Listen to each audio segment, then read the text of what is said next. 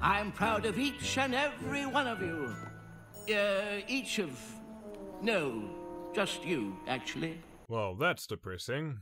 I suppose there might have been more students if they actually called this degree by its proper name. Hello everybody, my name is Freedom Flash and today I'll be giving my rather belated opinion on rock solid friendship. First off, it is my personal headcanon that these two little white bits on Limestone's cutie mark are piles of salt and you will not convince me otherwise.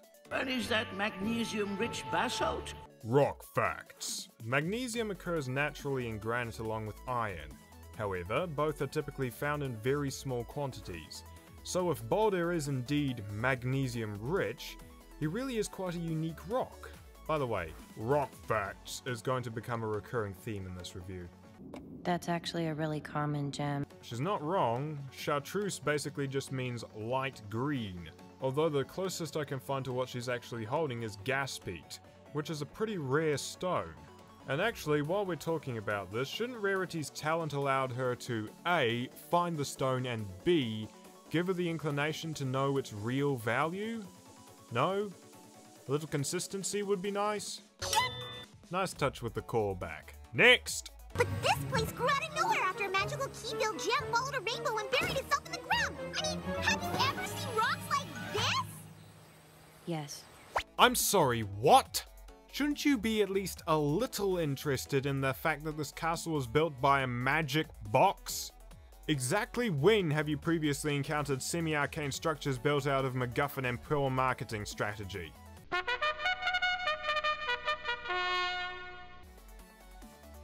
Okay, so there might be an entire empire built on that premise, but the question stands! We literally just saw hundreds of them in the gem cave.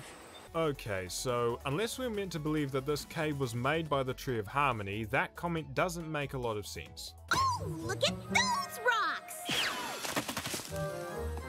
You know, she went crazy a lot faster than I thought she would, which is interesting given that my previous prediction was that she'd be gone by season 2. Crazy face number 2, please! Pain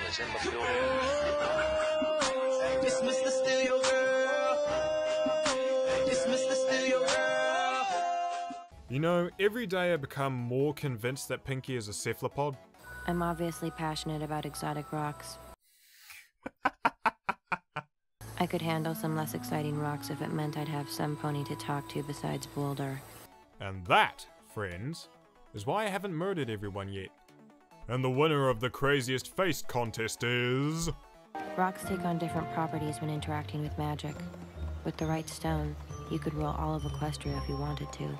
And upon hearing that, everyone starts making conspiracy theories about Celestia, while completely forgetting about this. Seriously, it's been a week and not once have I seen anyone bring this up. Okay, slow down a minute. I really like this detail. It's stuff like this that really helps flesh out characters, just the whole concept here is really attractive to me. I also like the callback that Starlight was apparently dreaming about kites when Pinkie woke her up. Why was the pizza excuse necessary again? It's not as if you kept it going for more than 3 seconds. Another reason I like rocks, they don't exclude you if you're different than other ponies. Okay, this bit is amazing. It's an almighty beacon of light on Maud's character and really hammers home the point that Maud is unexpressive, not unfeeling. But it's also quite sad, because at some point, someone pushed her away. It wasn't family, they're far too much a bucket of emojis to have pushed her out, and she's literally the only one in the Rock College. I'm struggling to think of when it might have happened, but at some point she's been judged, repeatedly, for her responsiveness, and that's at least part of what drove her into Ghastly Gorge. They're not bonding! Not with you, no. Where did you even get that? Oh, come on! Hey man, I gotta eat. No, you don't. No, I don't. This was just for fun. I love how Starlight addresses Boulder and not Maud at this bit. She's really picking up fast. Omelette cupcake. Huh. And how many times did you smile like this? Zero times. You're not quite adjusting for Maudism, are you, Pinkie? You kinda, sorta got in the way. You're right. Too harsh. Wait for it! Let's go with you ruined everything all the time? Holy shit. Starlight, that has got to be one of the bluntest, most insensitive comments in the entire show. Minus Trixie. It's like you bumped into someone, apologized, and then decked them in the face. Rock facts. That is quite a find. While jasper itself is quite common, single color deposits and particularly green jasper is fairly rare.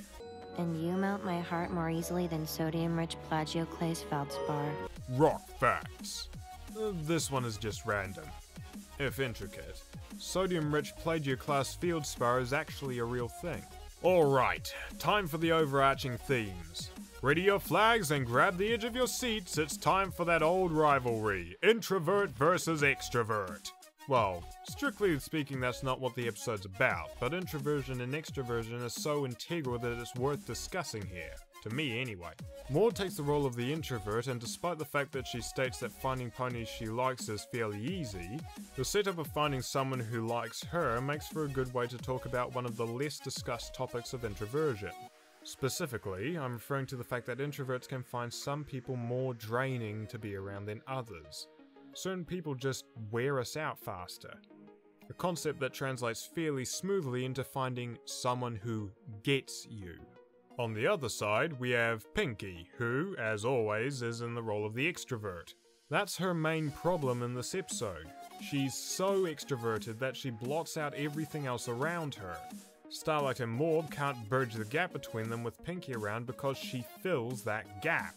There's just no space to do anything.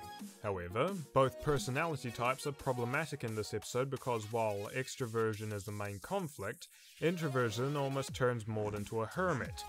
And speaking of, what in the seven seals of Tartarus makes you think that the local rock strata here makes it worth braving the Quarry Eels? Your choices are Ponyville or a death trap. I'll admit, there's not much of a difference there, but at least in Ponyville you get some warning about whatever's currently trying to kill you. Potential dismemberment aside, I'm really glad that Maud's moving to Ponyville. Over recent episodes, there seems to have been a trend of bringing back old characters and giving them a more permanent fixture, which I hope will continue in future episodes. Well, I've been Freedom Flash, and thanks for watching.